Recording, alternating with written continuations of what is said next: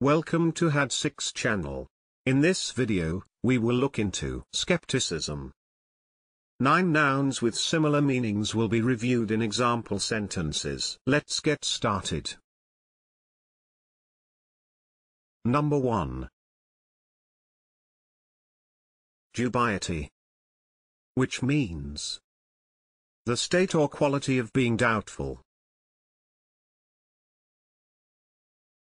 Dubiety.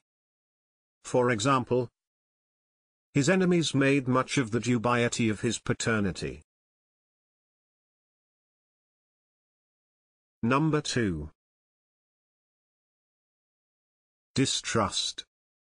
Which means the feeling that someone or something cannot be relied upon.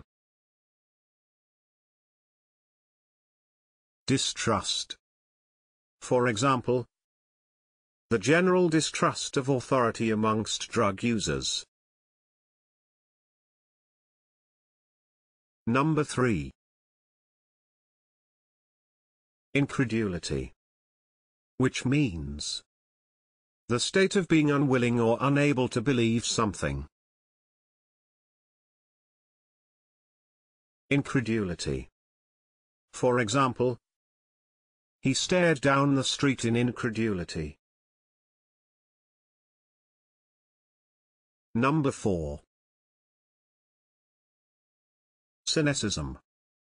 Which means an inclination to believe that people are motivated purely by self-interest.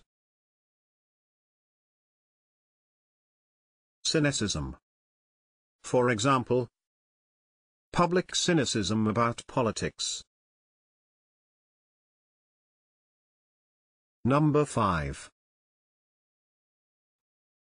Unbelief. Which means lack of religious belief. Unbelief. For example, the darkness of unbelief. Number 6. Disbelief. Which means inability or refusal to accept that something is true or real. Disbelief. For example, she stared at him in disbelief. Number 7. Doubt. Which means a feeling of uncertainty or lack of conviction. Doubt. For example, a weak, indecisive leader racked by doubt. Number 8. Suspicion. Which means cautious distrust. Suspicion. For example, her activities were regarded with suspicion by the headmistress. Number 9. Atheism. Which means disbelief or lack of belief in the existence of God or gods. Atheism. For example, the poet was accused of atheism and exiled.